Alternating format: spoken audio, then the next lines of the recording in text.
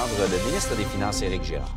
Euh, chaque budget est difficile. Là. Euh, je, ne me souviens pas d'un budget facile. Le premier ministre a exagéré dimanche passé. Si vous dites que tous les budgets sont difficiles, il ne sera pas plus difficile.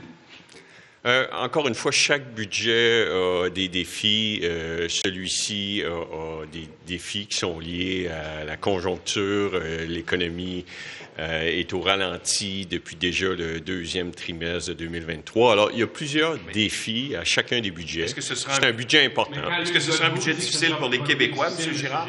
Quand Luc Godbout dit que c'est plus difficile, connaissant un petit peu, est-ce que vous êtes d'accord euh, je dirais pas que chaque budget est difficile. Mon premier était extrêmement difficile. C'est nouveau. Euh, ceux qui ont suivi la pandémie étaient extrêmement difficiles parce qu'on était en pandémie.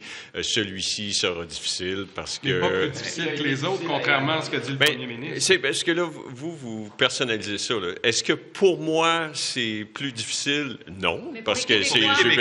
Ben, c'est-à-dire qu'on a des circonstances exceptionnelles qui sont difficiles. Ce sera un budget qui est dans des conditions difficiles, mais c'est gérable, là, définitivement. Il y a des efforts à faire. Vous avez dit ça mardi. Il y a oui. des efforts. Quels sont les efforts?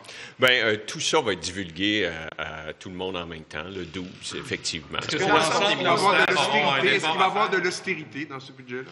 Bien, ça, c'est un. Euh, je dirais que non. Ce que vous allez voir, c'est qu'on euh, on a moins de revenus parce que euh, l'économie a tourné au ralenti dans la dernière année, euh, la faible hydraulicité. On a aussi euh, beaucoup moins de transferts fédéraux. Le, programme d'infrastructure est terminé. on n'a pas obtenu les sommes que nous voulions dans l'entente avec la santé. Alors, on a, on a moins de revenus et c'est certain que les négociations avec le secteur public amènent plus de dépenses. Tout, ça va être divulgué euh, lors du budget. Il y avait cinq priorités. Là, vous en avez nommé juste deux, donc oui. réduire les priorités. Non, mais, mais, en fait, je pense que euh, on est très, on a pris des décisions.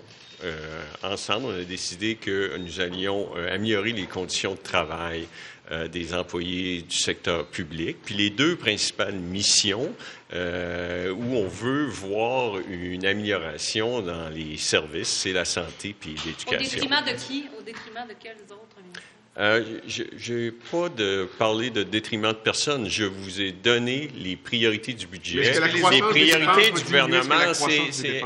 Ben, c'est certain. Ça, j'ai eu l'occasion de le dire plusieurs fois. Euh, la pandémie a amené un niveau de dépenses plus élevé. Et puis, on a plusieurs dépenses euh, durant la pandémie qu'on a qualifié de temporaire ou de dépenses COVID. Et là, ce qu'on voit, c'est que plusieurs de ces dépenses-là sont permanentes. Alors donc, on a un niveau de dépenses qui est plus élevé et nécessairement, on devra avoir une croissance des dépenses moins élevée euh, à l'avenir. Est-ce que vous persistez à croire que c'était la bonne chose euh, d'envoyer des chèques puis de baisser les impôts? Oui, définitivement. Ce qu'on a vu, c'est qu'au niveau des revenus, euh, ce qu'on a fait, c'est qu'on a protégé le pouvoir d'achat euh, des Québécois. On, a eu des hausses de revenus associées à l'inflation. On a redonné ça aux Québécois. Ça a permis de les protéger avec le marché de l'emploi qui est solide, les hausses de salaire, les transferts du gouvernement. Les Québécois sont toutes proportions gardées, bien que... ce soit extrêmement difficile. C'est de l'argent emprunté. Vous êtes obligé d'aller à New York plus souvent là, je, je vais répondre à une question euh, d'abord. Fait que on est très Donc, le ministre des Finances confirme mardi 12 mars, présentation du budget du Québec. Un peu compliqué cette année, mais le ministre est vraiment très, très avare de commentaires, veut conserver le secret autour du budget à cause des euh, augmentations consenties aux gens du secteur public.